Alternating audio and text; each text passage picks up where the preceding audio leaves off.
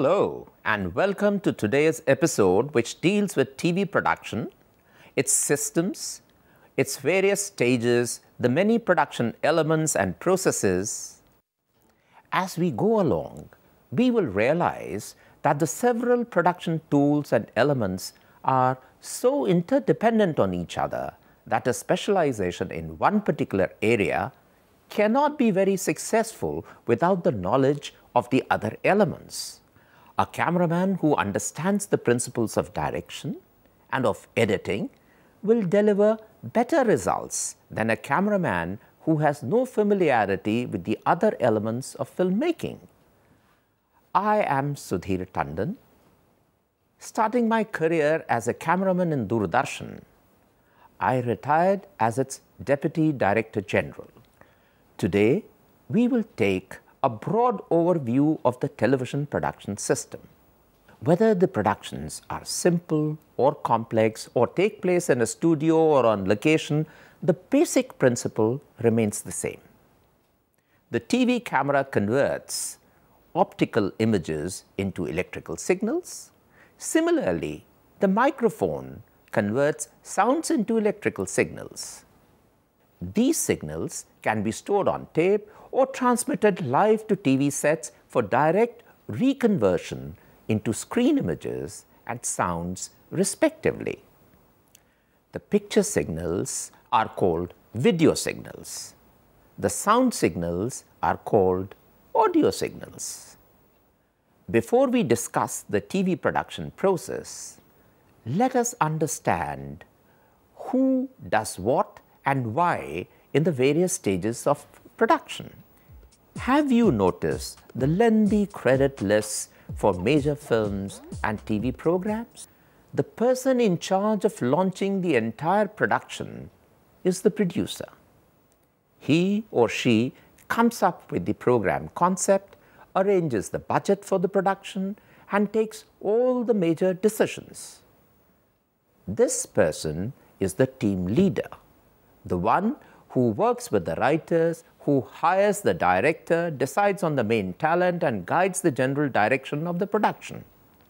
In the in house productions of film studios and TV channels, a producer who is an employee of the company performs all the roles of an independent or a freelance producer except raise finance for the project. The required budget is provided to him or to her by the concerned studio or TV channel. In smaller productions, the producer may also handle the more routine activities.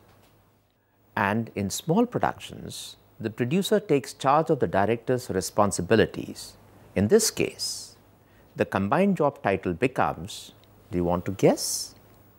Yes, producer director. In a major production, one of the producer's first jobs is to engage a writer to write the script. The script is like a written plan or a blueprint for the production. The producer will next consider the key talent for the production. In general, the talent includes actors, reporters, anchors, guests, and off camera narrators. Anyone whose voice is heard or who appears on camera, like me, for example. In a large production or a feature film, the producer will hire the director. The director is in charge of working out pre production details, that is, anything which has to do before the production, coordinating the activities of the production staff, and talent, working out the camera and talent positions on the set, selecting the camera shots during production, and supervising post production work. Post production means after the production uh, is over. In other words, once the producer sets things in motion, the director is in charge of taking the script from the beginning to the very end of the production process assisting a director in the control room is typically a technical director who also operates the video switcher. The technical director, or TD in short, is also responsible for coordinating the technical aspects of the production. one or more production assistants, that means PAs, may be hired to help the producer and the director. Among other things, PAs keep notes on ongoing production needs and changes. DOP or the director of photography is the cinematographer who supervises the photography of the entire film or big TV productions. Camera persons operate the cameras. They often do the lighting also for smaller productions. Because they work in video, they are also called videographers. The lighting director designs the lighting plan, arranges for the lighting equipment and sets up and checks the lighting. Some productions have a set designer who, along with the producer and director, designs the set and supervises its construction, painting and decoration. The costume designer designs and sometimes even constructs various costumes for films. TV dramas, dance numbers, variety and children's shows, etc., etc. Major dramatic productions have a wardrobe person who sees that the actors have clothes appropriate to the story and script.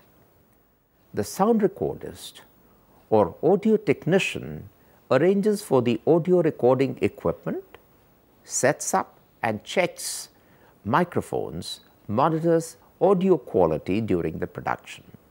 The microphone boom operator watches rehearsals and decides on the proper mics and their placement for each scene.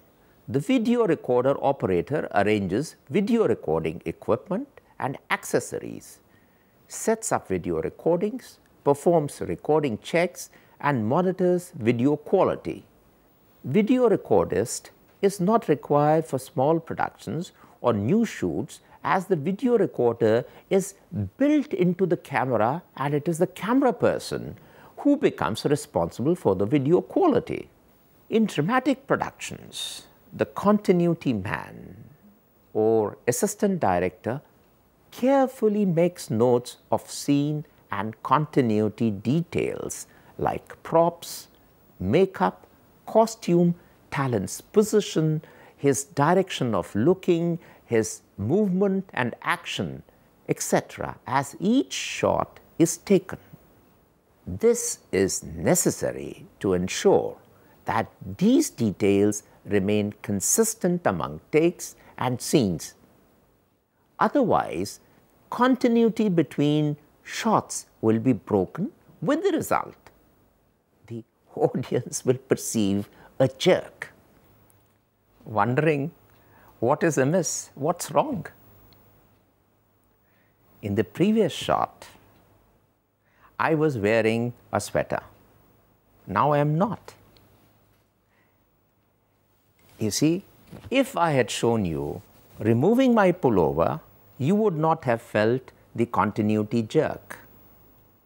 This is what is meant by maintaining continuity the graphic designer or character generator operator designs and types in opening titles, subtitles and closing credits into a computer based device that inserts the text over the video. She or he designs the other graphics in the production. The location manager finds and manages film locations. Most pictures are shot in the controlled environment of a sound studio stage like this recording itself, but occasionally outdoor sequences call for filming on location. The production manager manages the production budget and production schedule of the film or TV production. Depending on the production, there may be a floor manager who is responsible for coordinating activities on the set. One or more floor persons may assist him or her on a big production. The makeup artist and the hair designer work closely with the costume designer to create a certain look for a character. The property manager maintains and manages the use of various sets and properties. She or he is found in large productions only. Otherwise, the props are managed by the floor manager. After the shooting is completed, the editors use the video and audio recordings to blend the segments together. Technicians add music and audio effects to create the final product. The importance of editing to the success of a production is far greater than most people realize. An editor can make or break a production. That was a brief description of the important members of the production team and the work that they do.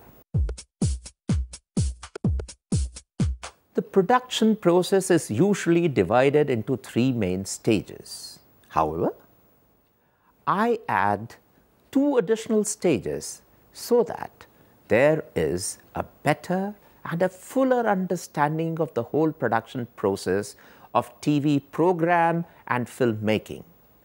Development is the first step, especially for a film or a complex TV production. It can be one of the longest phases of a project. Producers are often responsible for coming up with the underlying premise or the basic idea of a production, developing it with a writer into a story and a screenplay or for adapting a literary work or for selecting a ready-made screenplay. Producers secure the necessary rights, select the screenwriter and story editing team, raise the development finance and supervise the development process.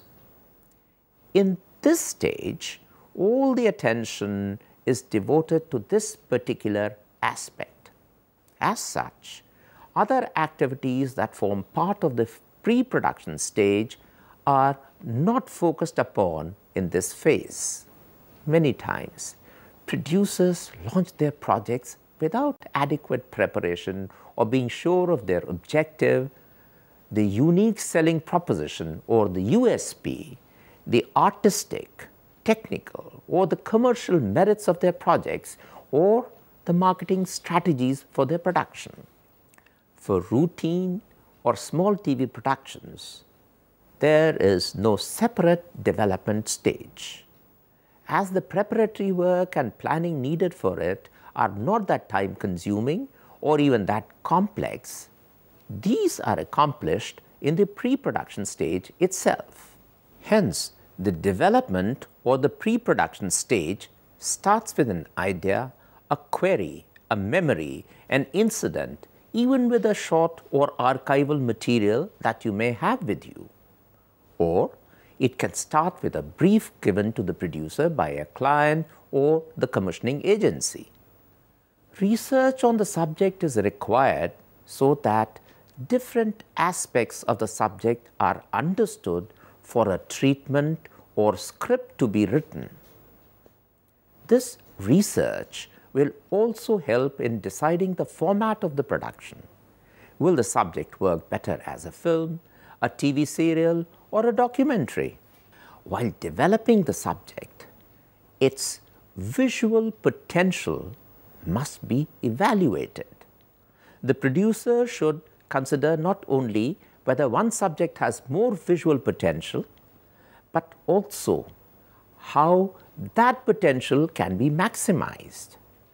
Does the script resemble that of another program or film are there any scenes in it that might be extremely difficult to shoot or are there any locations where shooting may not be possible at all? What will be the cost of the project and how long will it take to complete it? Will it make a profit? Is there anything in it that might offend the cultural or moral sensibility of the audience? These are some of the questions that a producer will consider to assess the viability of a project before finalizing it. In order to arrange finance for the project, producer has to write a project proposal.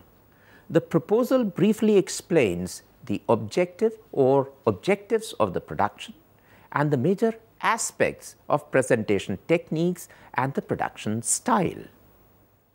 It should include this information. Due to TV's small screen size, short titles work better. This is a brief but clear explanation of the underlying message and what the production is to accomplish.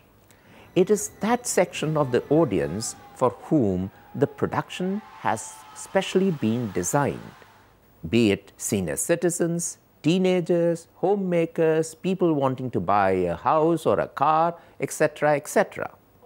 A properly formulated program objective will provide a clue as to who the target audience is.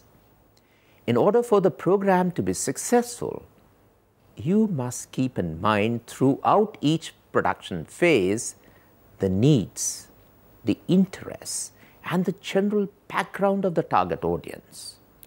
In order for your program to have value and a lasting effect, it must in some way affect the audience emotionally.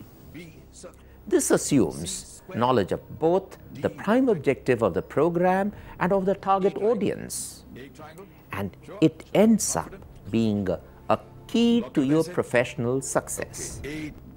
Whether it will be a film, a 13 part series, a 365 episode soap opera, a game or a reality show, a documentary, or a corporate video. A brief paragraph to describe each activity sequence, the key production factors, unusual production techniques such as a multiple or a single camera studio production, an EFP or a single camera film style shoot, outdoor location considerations, recreation of a period setting or environment, stunt acts, etc., need to be highlighted together with the requirements of star cast, special costumes, props, and scenery. An approximate timeline, that is, the time that will be taken to complete various tasks of the project in time and the budget for it should be prepared carefully and realistically. Too much or too little of either can discourage a client, and a miscalculation can result in a loss to the producer. The proposal writer must be aware of how the finished production will be distributed, such as on film, videotape, or converted to digital format on tape, DVD, mobile application, etc., etc., and how it will be released through broadcast, cablecast, through cable operators, webcast, etc. Many financial backers want a show or program treatment.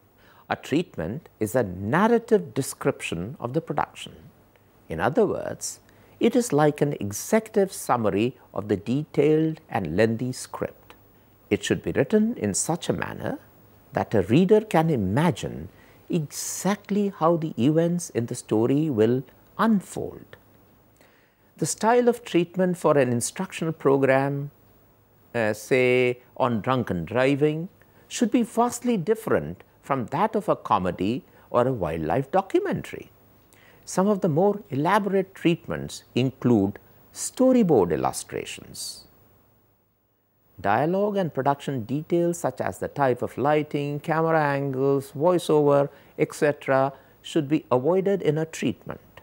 Do remember that treatment as also the proposal is a sales tool designed to get funding for the project.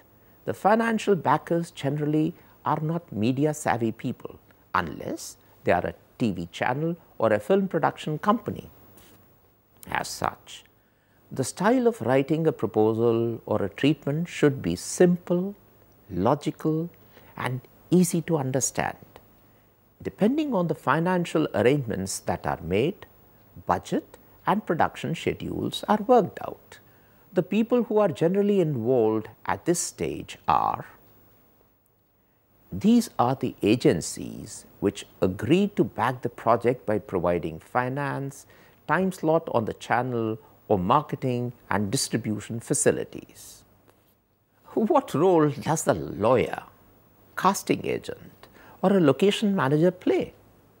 Any project that involves big financial transactions, hiring of many people and equipment will require a lot of legal work to be done. Written agreements or contracts are signed with, say, the cast, anchors, crew, members, equipment suppliers, owners of locations which are to be hired for shooting, etc., etc. Moreover, copyright of a creative work has now become a major issue. While on the one hand, there is a need to protect one's own original creative work from commercial exploitation by others, on the other, there should be an equal concern about not infringing the copyright of others. A legal situation can arise if a viewer, NGO, community takes offense at some depiction, either visual or oral, and goes to court. A group of protesters can create a law and order situation by staging violent demonstrations against a film or a TV program. Recall how some feature films recently had to face opposition from a section of society in spite of their having been cleared by the Board of Film Certification, popularly known as the Censor Board, and the matter taken to court. Legal experts have now come to play a significant role in protecting the interest of a film or a big TV production. A casting agent helps to find the right cast for the project, while a location manager identifies the required suitable locations or places and secures all permissions for shooting. The development stage can last up to several months in the case of big budget films or TV serials, game and reality shows and specialized documentaries such as on wildlife. As already mentioned, the development stage is necessary only for big and complex TV productions and feature films. Routine types of TV productions get into the pre-production mode straight away. And in any case, development stage is just a precursor to the pre-production stage. Nearly all production formats and genres require pre-production work. Unless it is an impromptu shoot like the coverage of an accident or an incident that takes place in your presence and you are able to record it then and there. Some of the greatest historical moments have been recorded by photographers and cameramen who happened to be present with their equipment at the time and place when the incident occurred. Such a coverage could not have been anticipated and therefore could not have been planned in advance. But pre-production is the preparation phase of the project. Every scene, every shot, every logistical detail is planned out. While it is impossible to anticipate everything that might happen during the production, it is essential to eliminate as many variables as one can in the pre-production phase so that there will be minimum problems in the production. Moreover, careful planning done at this stage will save money, time, prevent wastage of resources and even embarrassment before your cast and crew that you have assembled to realize your creative vision. So, what exactly happens in the pre production stage? This stage includes everything one does before entering the studio or reaching the shooting location. It involves idea generation, research, scripting, hiring or selection of director, all the crew members and talents and discussions with them, arranging equipment, video and audio tapes, hand and the set properties, costumes, makeup designing, sets designing, and location hunting, lighting, planning, camera and talent movement, dialogue delivery, and all audio effects, writing lyrics, song recording, and booking of facilities. Once all the basic elements are in place, rehearsals can start. A simple on location segment may involve only a quick check of talent positions so that camera movements, audio and lighting can be checked. A complex dramatic production may require many days of rehearsals. These generally start with a dry rehearsal where the talent along with key production personnel read through the script. Often, script changes take place at this point. Finally, there's a dress rehearsal. Here, the talent dresses in the appropriate wardrobe, the sets are lit up, and the talent and the camera blockings are done, and each shot is framed as determined. In other words, all production elements are checked for any flaws or deviation from the planned design. This is the final opportunity for the production personnel to solve whatever production problems remain.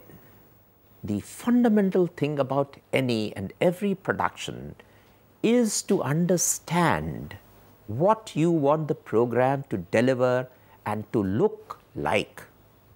Or, in other words, what is it that you really want to make? Only when you know the answer will you be able to make a good program a program that the audience will understand. Once you are clear about your idea, the next stage is how to transfer this idea to the film or television image. To translate an idea effectively on screen, you need a good script as there are many important aspects to writing an effective and meaningful script, we shall take up this topic in the next episode. For now, let us recapitulate what all we have discussed today. Música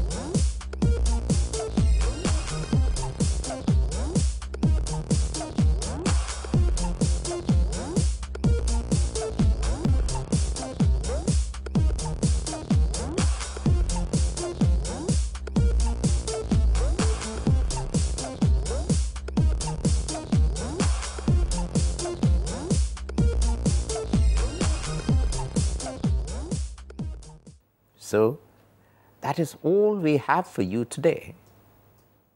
We hope you got a glimpse of the complex creative process that television production is. Also, that it can be broken down into various stages. You were also introduced to the work profiles of key professionals involved in the production process. In the next episode, we will continue with our exploration of the pre-production stage. Till then, goodbye.